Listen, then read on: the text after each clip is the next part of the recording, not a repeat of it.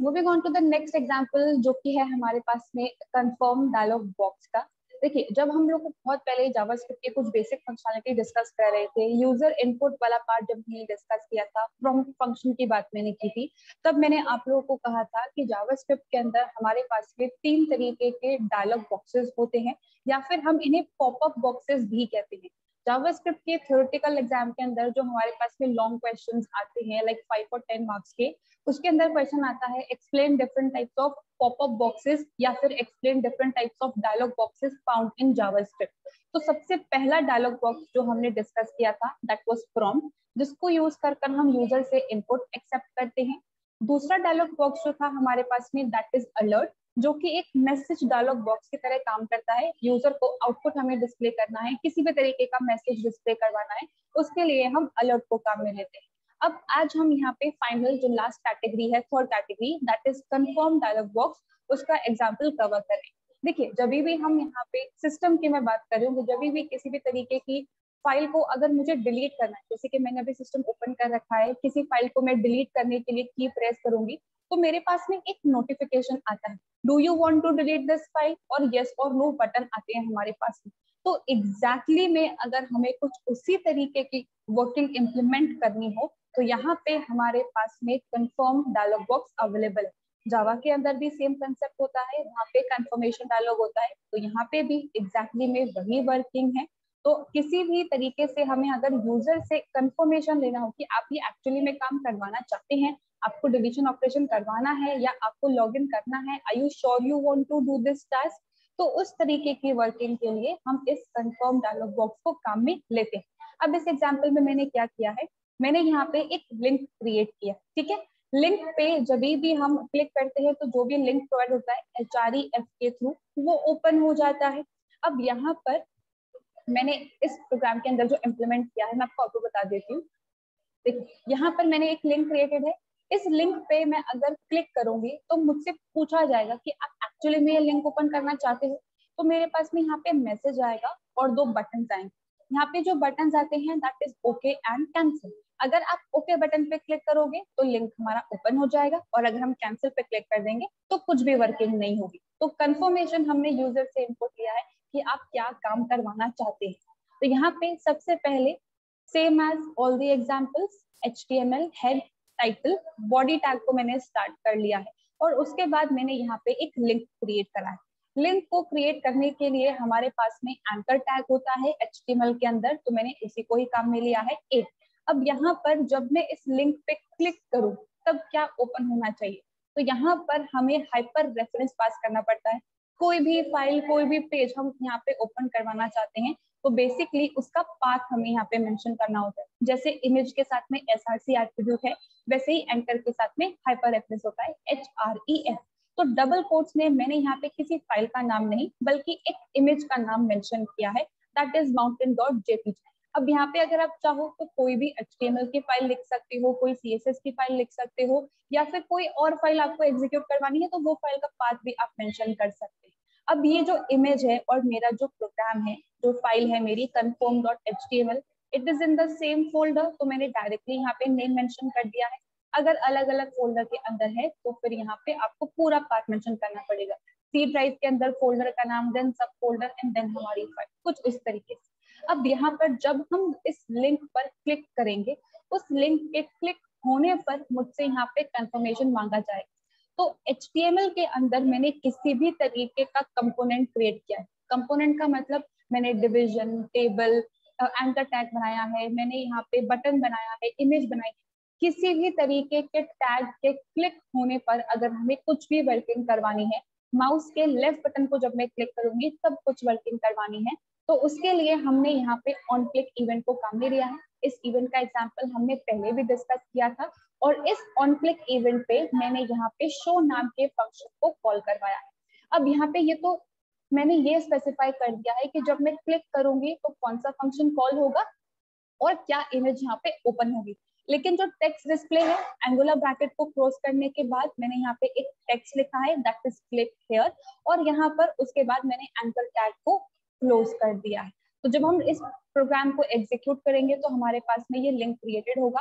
Click here text display हो रहा होगा और अंडरलाइन भी आ रहा होगा। अब क्योंकि मैंने इस प्रोग्राम को एग्जीक्यूट कर रखा है मेरे सिस्टम के अंदर मतलब मैंने लिंक को विज़िट किया हुआ है एक या दो बार तो जब हम इस प्रोग्राम को एग्जीक्यूट करेंगे तो वो पर्पल कलर के अंदर आता है। लेकिन जब आप पहली बार प्रोग्राम क्रिएट करते हैं और पहली बार लिंक को क्रिएट करने के बाद आप उस प्रोग्राम को एग्जीक्यूट करते हैं तो उसका डिफ़ॉल्ट कलर जो है वो हमारे पास में ब्लू आता है। सेम वही कंसेप्ट है जो आपने एच के अंदर कवर किया है, ठीक है? तो यहाँ पे जब हम इस लिंक पे क्लिक करेंगे तो हमारा फ़ंक्शन कॉल होगा दैट इज़ शो फ़ंक्शन अब स्क्रिप्ट टैग को मैंने स्टार्ट किया है शो फ़ंक्शन को मैंने यहाँ पे क्रिएट किया है फ़ंक्शन कीवर्ड फॉलोड बाय हमारे फ़ंक्शन का नाम. अब यहाँ पर मैंने सिंपली इस कंफर्म मेथड को काम में लिया है और इस कंफर्म मेथड के अंदर मैंने सिंपली एक मैसेज दिया है.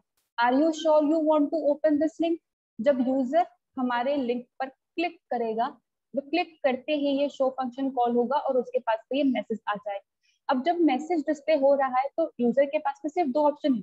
या तो वो ओके पे बटन पे क्लिक करेगा, या वो कैंसिल बटन पे क्लिक करेगा। अब वो जिस भी बटन पे क्लिक करेगा, उसकी इंफॉर्मेशन मैंने स्टोर करवाई है एएनएस नाम के वेरिएबल के अंदर और फिर उस ए की वैल्यू को मैंने यहाँ पे रिटर्न करवा दी। अब ये कंफर्म एक्चुअली में क्या इन्फॉर्मेशन रिटर्न करता है? अगर हम ओके okay बटन पे क्लिक करते हैं तो ये ट्रू रिटर्न करता है और हम कैंसिल बटन पे क्लिक करते हैं तो ये फॉल्स रिटर्न करता है। अब जब भी किसी भी फ़ंक्शन की वैल्यू रिटर्न होती है तो वैल्यू कहाँ रिटर्न होती है? जहाँ से फ़ंक्शन को कॉल किया गया और फ़ंक्शन को कहाँ से कॉल किया गया यहाँ ऑन क्लिक इवेंट के अकर होने पर।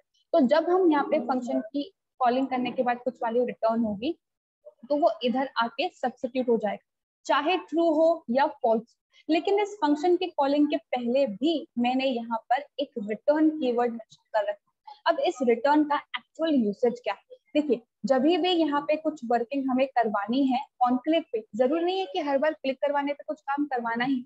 कभी कभी ऐसा होता है ना कि गलत इन्फॉर्मेशन इनपुट कर दी तो कुछ भी वर्किंग मत करवाओ, कुछ भी डिस्प्ले मत करवाओ। तो अगर यूज़र ओके बटन पे क्लिक करेगा तो ये शो फ़ंक्शन हमें ट्रू रिटर्न करेगा। ठीक है? रिटर्न ट्रू रिटर्न ट्रू का मतलब है कि हमें ऑन क्लिक पे वर्किंग एग्जीक्यूट करवानी है मतलब लिंक को ओपन करना है और इमेज को डिस्प्ले करवाना है। लेकिन अगर हम कंफर्म डायलॉग बॉक्स में कैंसिल बटन पे क्लिक करते हैं तो फिर शो बटन हमें फॉल्स रिटर्न करेगा और यहाँ पे आके फॉल्स सब्सिट्यूट हो जाएगा।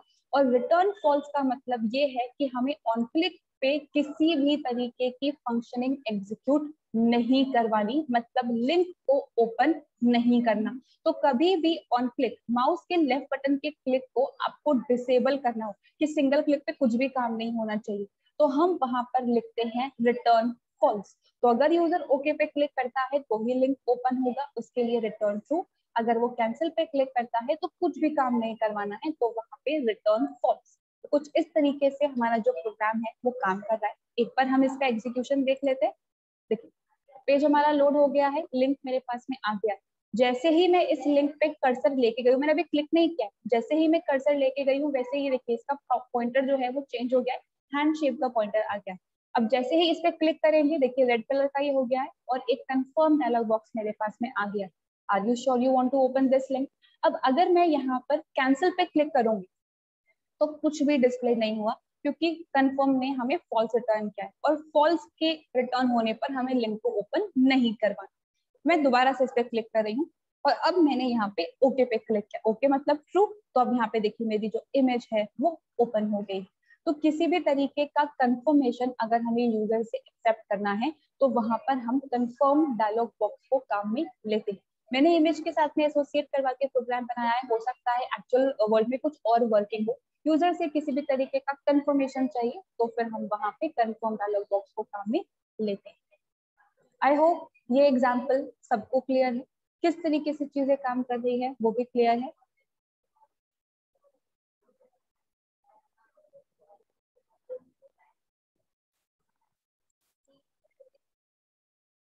सबसे पहले मैं आपको इस प्रोग्राम का एग्जीक्यूशन बता देती हूँ कि हम एक्चुअली में करने के वाले हैं, ताकि समझने में हमें आसानी हो जाए। देखिए, यहाँ पे मैंने एक इमेज को डिस्प्ले करवाया। इमेज का डिस्प्ले करवाया तो आप सब लोग आ लेकिन वर्किंग क्या है? वर्किंग ये है कि जैसे जैसे मैं अपने माउस के पॉइंटर को मूव करूँगी मतलब मैं माउस को मूव कर रही वैसे वैसे मेरी इमेज भी उसके साथ साथ में मूव होनी चाहिए। माउस पॉइंटर में यहाँ लेके गई इमेज यहाँ गई। माउस पॉइंटर में यहाँ लेके गई इमेज यहाँ गई। माउस पॉइंटर मैंने इधर मूव किया इमेज इधर मूव हो तो जैसे जैसे मेरा कर्सर मूव हो रहा है वैसे वैसे मुझे मेरी इमेज को मूव करवाना है। ये है हमारी एक्चुअल वर्किंग अब इसके लिए हमें यहाँ पे कुछ प्रॉपर्टीज़ और ऑब्जेक्ट को ध्यान में रखना पड़ेगा।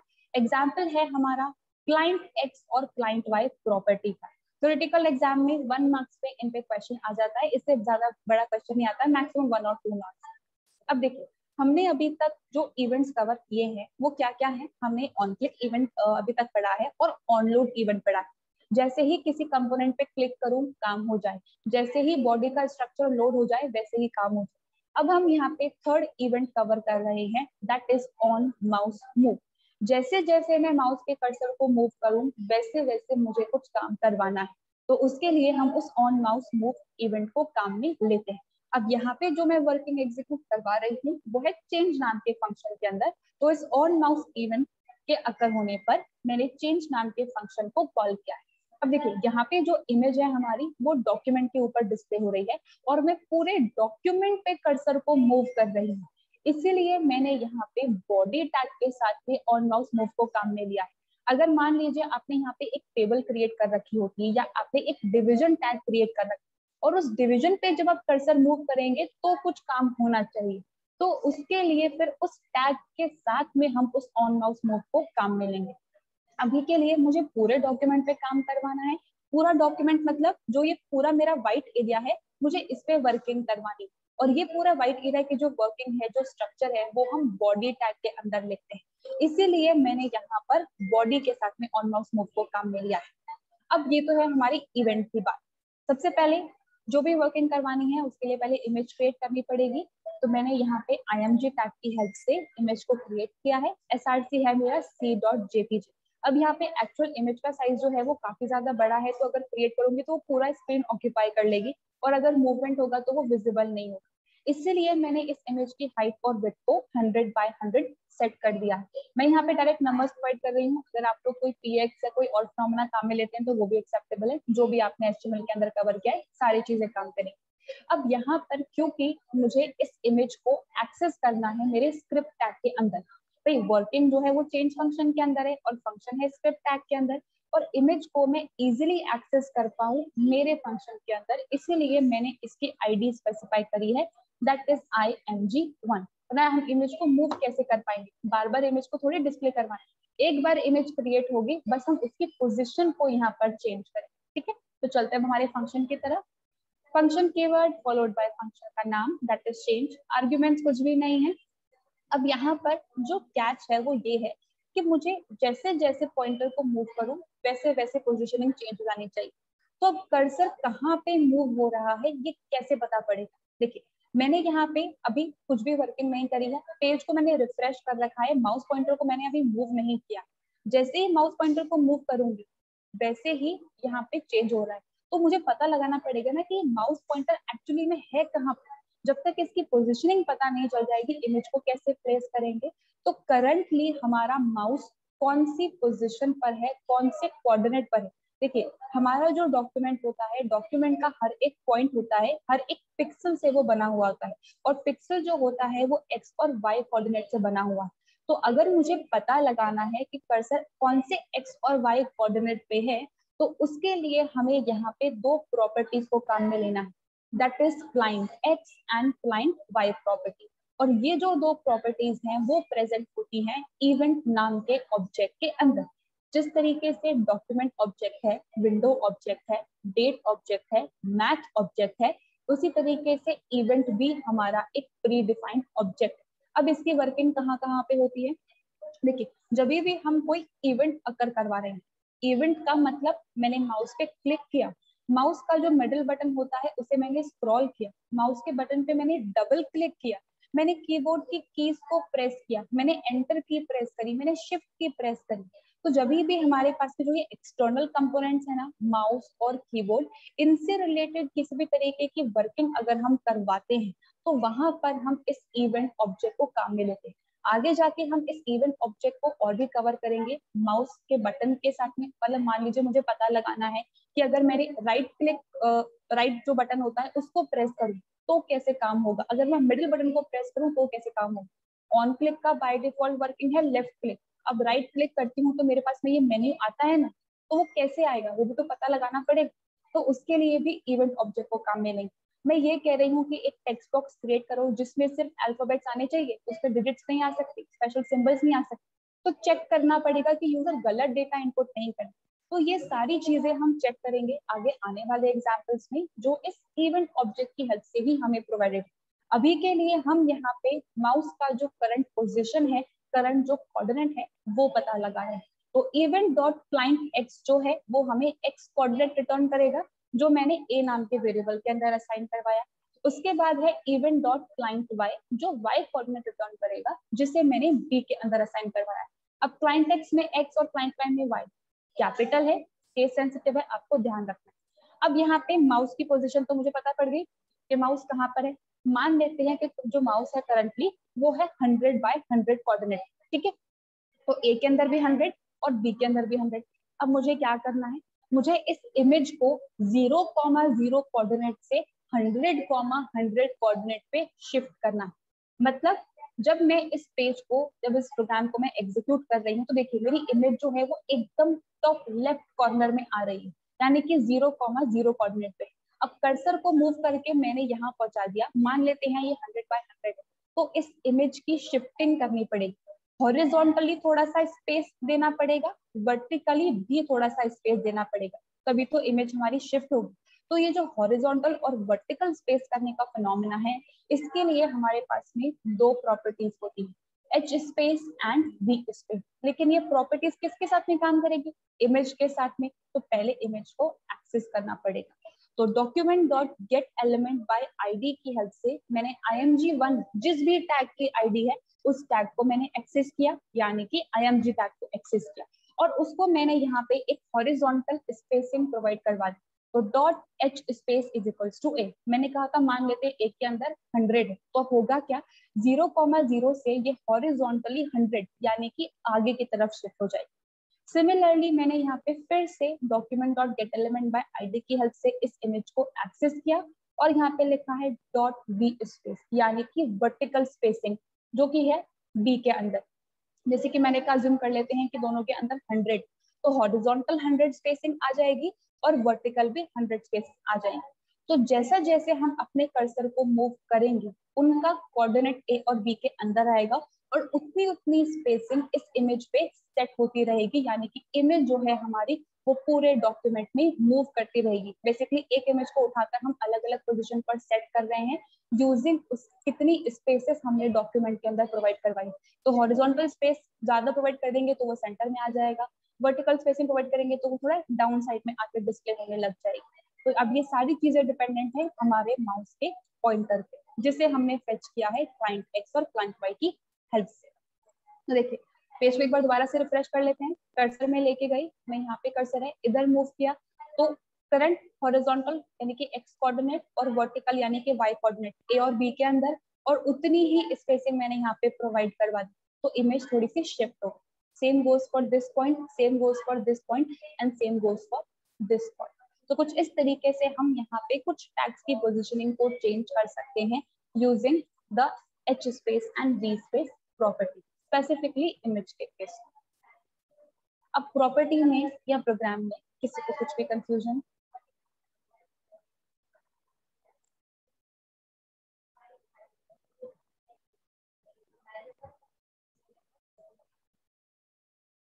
नेक्स्ट एग्ज़ाम्पल जो है हमारा that is set time out method and clear time out method अब हमने एक दो सेशंस पहले एक मेथड कवर किया था। दो मेथड्स कवर किए थे इनफैक्ट सेट इंटरवल और क्लियर इंटरवल सेट इंटरवल क्या कर रहा था? हर एक स्पेसिफिक टाइम पीरियड के बाद हमारे फ़ंक्शन को रिपीटेडली कॉल कर रहा था. कब तक कॉल कर रहा था? जब तक हम उस इंटरवल को क्लियर नहीं कर रहे थे यूजिंग क्लियर इंटरवल मेथड तो उसी से मिलते जुलते हमारे पास में दो फ़ंक्शन है set time out and clear time out अब आपका जो थियोरेटिकल एग्ज़ाम होता है, उसमें आता है question explain the difference between set interval and set time out explain the difference between clear interval and clear time out तो दोनों का डिफरेंस ध्यान से समझिएगा। देखिए, मैं यहाँ पे जो वर्किंग एग्जीक्यूट करवा रही हूँ, उसमें क्या है? मैंने यहाँ पे एक पैराग्राफ क्रिएट किया है, जिसके अंदर कुछ टेक्स्ट डिस्प्ले हो रहा है, और उसके बाद मैंने एक बटन क्रिएट किया है। और उस बटन के क्लिक पर, जैसे ही मैं बटन पे क्लिक करूँगी, होगा क्या? पाँच सेकंड के बाद में, आज का जो भी करंट डेट और टाइम है, वो उस पैराग्राफ के अंदर जाके डिस्प्ले हो जाए ठीक है? कुछ इस तरीके की वर्किंग है। पहले एक बार हम वर्किंग देख लेते हैं, फिर उसके बाद मैं आपको एग्जीक्यूशन करके बताऊँ देखिए same as all the examples HTML head title body and paragraph tag को मैंने यहाँ पे क्रिएट किया है। उसके लिए पी टैग अब इस पी टैग के कंटेंट को मुझे चेंज करना है बटन के क्लिक पे। इसीलिए मैंने इस पैराग्राफ की आईडी स्पेसिफाई करी है दैट इज़ पैरा पैराग्राफ में मैंने कुछ टेक्स्ट भी डिस्प्ले करवाया है दैट इज़ रेन और फिर मैंने उस पैराग्राफ टैग को क्लोज कर दिया है। उसके बाद मैंने यहाँ पे इनपुट टैग की हेल्प से बटन को क्रिएट किया है। Input type is equals to button button पे जो टेक्स्ट है, उसको डिस्प्ले करवाने के लिए वैल्यू एट्रीब्यूट को काम में लेते हैं। तो value is equals to clear उसके बाद इस बटन के क्लिक पर मुझे क्लियर डेटा नाम के फ़ंक्शन को कॉल करवाना है। तो जब माउस के लेफ़्ट बटन को क्लिक करेंगे तो ये फ़ंक्शन कॉल हो जाएगा। अब फ़ंक्शन है हमारे स्क्रिप्ट टैग के अंदर। तो स्क्रिप्ट टैग मैंने स्टार्ट कर दिया और उसके बाद मैंने यहाँ पे एक फ़ंक्शन को काम में लिया है प्री डिफाइंड मेथड को काम में लिया है that is set time out अब सेट टाइम आउट में जो टी है वो कैपिटल है, बाकी सब कुछ स्मॉल है केस सेंसिटिव है, चीज़ें आपको ध्यान रखें। जिस तरीके से सेट इंटरवल में हमारे पास में दो आर्ग्यूमेंट्स होते हैं फ़ंक्शन का नाम और time in millisecond exactly में यहाँ पर भी हमारे पास में वही दो आर्ग्यूमेंट्स है फ़ंक्शन का नाम और हमारे पास में टाइम इन मिली तो फिर डिफरेंस क्या हुआ? डिफरेंस है इनकी वर्किंग सेट इंटरवल क्या करता है? जो भी टाइम पीरियड मैंने यहाँ पे स्पेसिफाई किया है, हर उस टाइम पीरियड के बाद फ़ंक्शन को रिपीटेडली कॉल करता रहता है। लेकिन सेट टाइम आउट फ़ंक्शन को सिर्फ़ एक बार कॉल करेगा। जो टाइम मैंने यहाँ पे स्पेसिफाई किया है, मैंने यहाँ पे फाइव सेकेंड का टाइम दिया है तो फाइव सेकेंड निकल जाने के बाद सिर्फ़ एक बार शो डेटा नाम का फ़ंक्शन कॉल होगा। ये है सेट टाइम आउट की वर्क अब यहाँ पर कुछ मुझे इमरजेंसी आ गई मुझे अपना सिस्टम बंद करना है और इस पाँच सेकेंड से पहले ही मुझे इस फ़ंक्शन की एग्जीक्यूशन को रोक देना है। तो ये सेट टाइम आउट भी सेट इंटरवल की ही तरह हमें एक इंटरवल आईडी रिटर्न करता है, जिसे मैंने ए नाम के वेरिएबल के अंदर असाइन करवाया। अब यहाँ पर बटन के क्लिक पे शो डेटा फ़ंक्शन कॉल हो रहा है। तो फ़ंक्शन शो डेटा के अंदर सबसे पहले मैंने डी नाम का एक डेट टाइप का ऑब्जेक्ट बनाया। Where d is equals to new day. और उसके बाद मैंने यहाँ पे लिखा है document dot get element by ID para dot inner H T M L is equals to D तो यहाँ पे हम गेट एलिमेंट बाय आईडी की हेल्प से पैराग्राफ टैग को एक्सेस करेंगे। उसके कंटेंट को अगर हमें चेंज करना है तो यहाँ पर हम inner H T M L property को काम भी लेंगे और वैल्यू मैंने सेट कर दी है दैट इज़ डी मतलब करंट डेट और टाइम हमारे इस पैराग्राफ टैग पे जाके डिस्प्ले हो जाएगा। मतलब जहाँ पर रेन डिस्प्ले हो रहा था रेन अब रिप्लेस हो जाएगा हमारे करंट डेट और टाइम से। अब यहाँ पर मैंने किसी भी तरीके का मेथड काम में नहीं लिया तो होगा क्या? Complete date and time display होगा। आज का डे क्या है? आज कंप्लीट डेट क्या है? टाइम क्या है? टाइम जोन क्या है? सब कुछ डिस्प्ले होगा। ठीक है? लेकिन ये जो वर्किंग है वो कब है?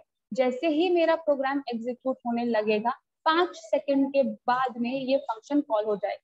अब पाँच सेकंड से पहले ही अगर मुझे इस वर्किंग को रुकवाना है, जैसे मैंने कहा ऑन क्लिक पे मैंने क्लियर डेटा फ़ंक्शन को कॉल करवाया है तो फ़ंक्शन क्लियर डेटा में सिंपली मैंने क्या लिखा है?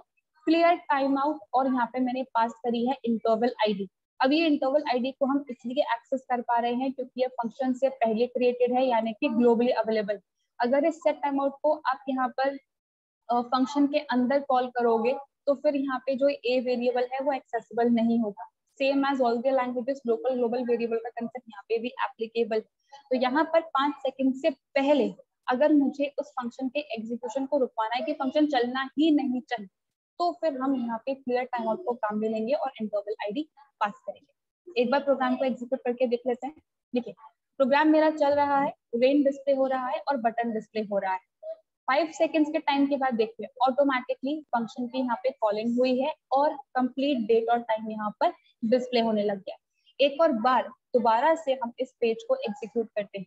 टाइम पीरियड चल रहा है और मैंने क्लियर बटन पे क्लिक कर दिया। अब चाहे हम यहाँ पे कितनी ही देर वेट पूरा करें, अब हमारे पास में जो टाइम है, जो डेट और टाइम है वो डिस्प्ले नहीं होगा। क्योंकि हमने उसका एग्जीक्यूशन बीच में ही कट कर दिया है, बीच में ही रोक दिया तो एक स्पेसिफिक टाइम पीरियड के बाद कोई फ़ंक्शन एग्जीक्यूट करवाना हो तो सेट टाइम आउट एक स्पेसिफिक टाइम पीरियड निकल जाने के बाद रिपीटेडली कुछ काम करवाना हो तो सेट इंटरवल और उन दोनों फ़ंक्शंस की वर्किंग को अगर हमें किसी भी तरीके से बीच में रोकना है तो क्लियर टाइम आउट और क्लियर इंटरवल जैसे मेथड्स को हम काम में लेते हैं।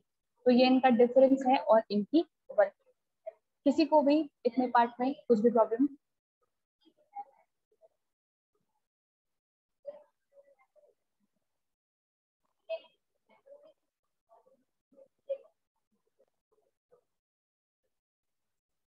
में करना क्या?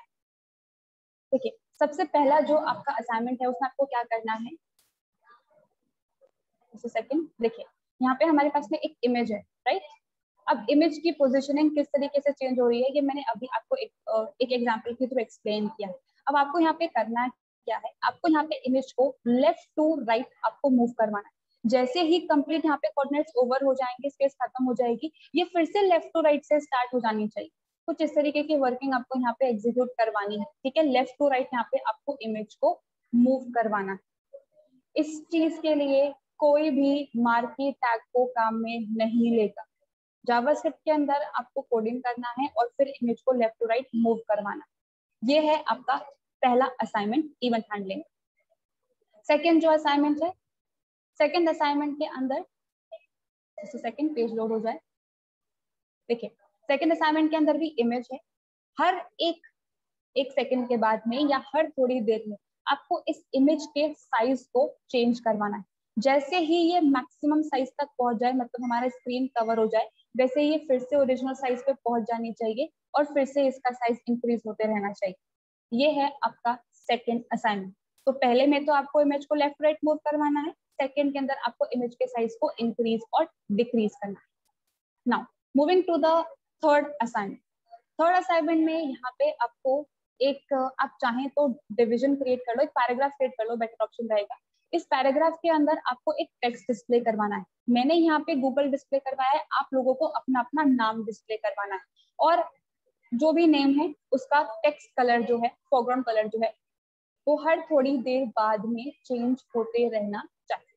आप कलर कैसे जनरेट करते हैं, कैसे अप्लाई करते हैं, ये मैंने आपको बताया था, लेकिन वो डॉक्यूमेंट पे था। आपको क्या करना है, आपको पैराग्राफ पे अप्लाई करना है।